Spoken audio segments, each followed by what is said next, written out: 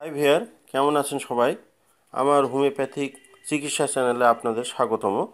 আজকে আমি আমবাত অ্যালার্জি বা আর্টিকেরিয়া বা শীতপিত্ত সম্পর্কে আলোচনা করব।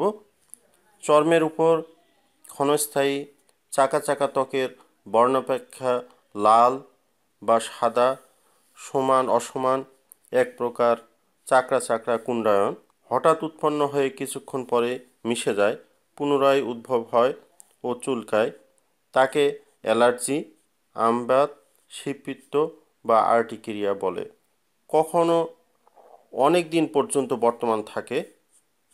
স্থানিক বা দূরবর্তী উত্তেজনা হেতু কতকগুলো কৈশিক শিরার অসাবধানতাবশত রক্ত দ্বারা পূর্ণ হলেই উক্ত প্রকারের লাল দাগ হয়।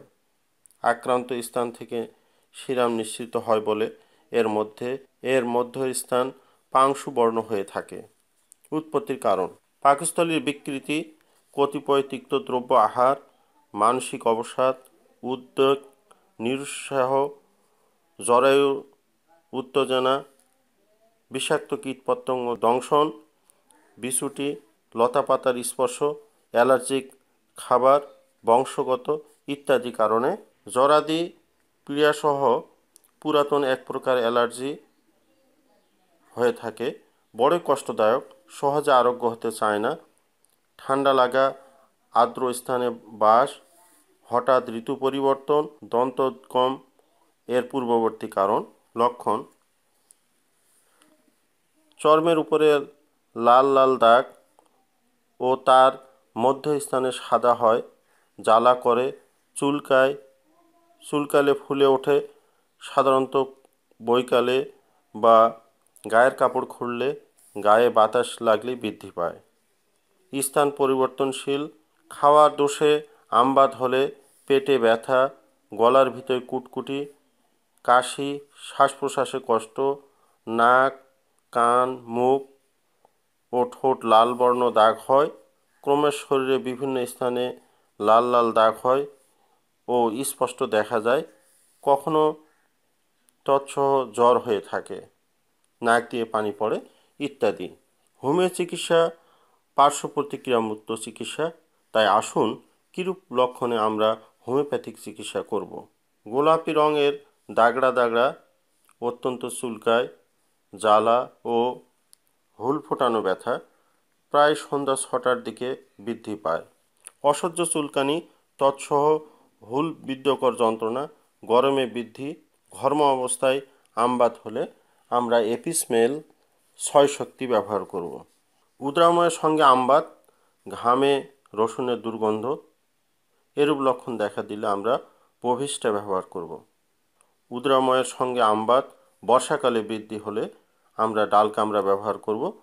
ডাল কামড়াতে পুরাতন আমবাত শীতেও আরম্ভ হয়। সমস্ত শীতকালে থাকে। চুলকালে জ্বালা বাড়ে, উত্তাপ প্রয়োগে বৃদ্ধি ও ঠান্ডায় উপশম। এরূপ ক্ষেত্রে আমরা ডাল কামড়া ব্যবহার করব।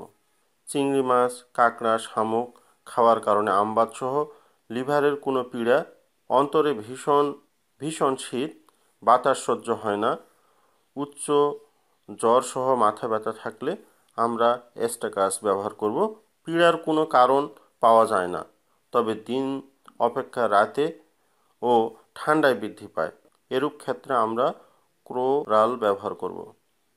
বৃষ্টির পানিতে ভিজার কারণে জ্বর হোক বা না হোক, কিন্তু আমবাদ প্রকাশ।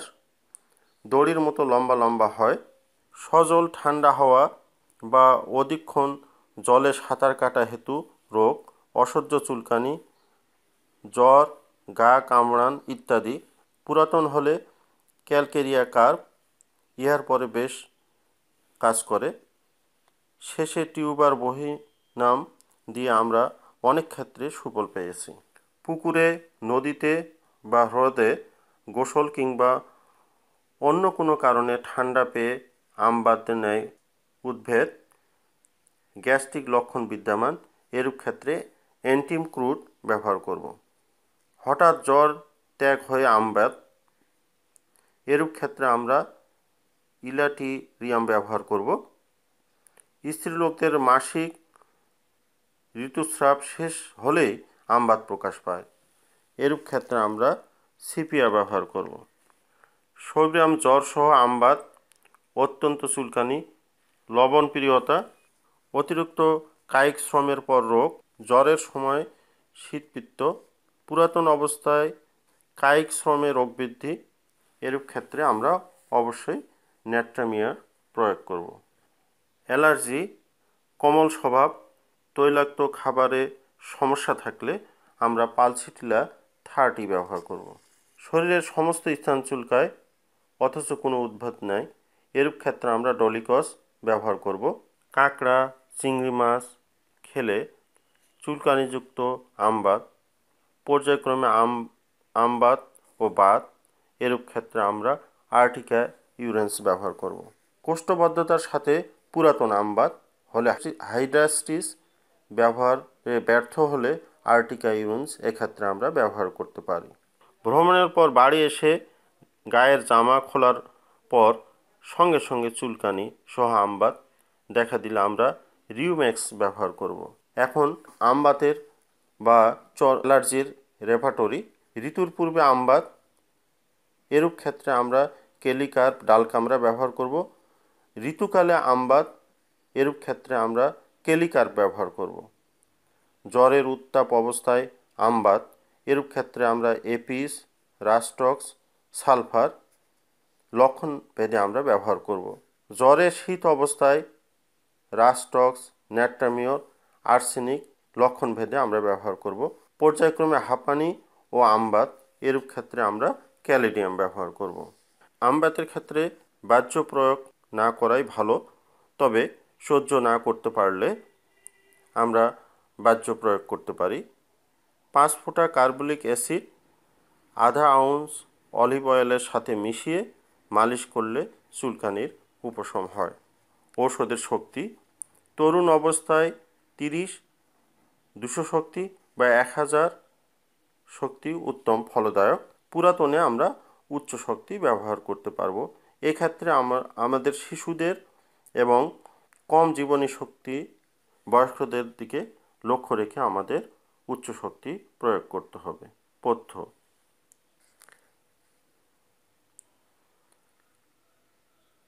পথ্যের ক্ষেত্রে আমাদের সাবধানতা অবলম্বন করতে হবে। অ্যালার্জিক খাবার, ধুলাবালি, ধোয়া, ঠান্ডা, উত্তাপ ইত্যাদি থেকে সাবধানতা অবলম্বন করতে হবে। আমার এই ভিডিও দেখার জন্য আপনাদের ধন্যবাদ জানিয়ে শেষ করছি।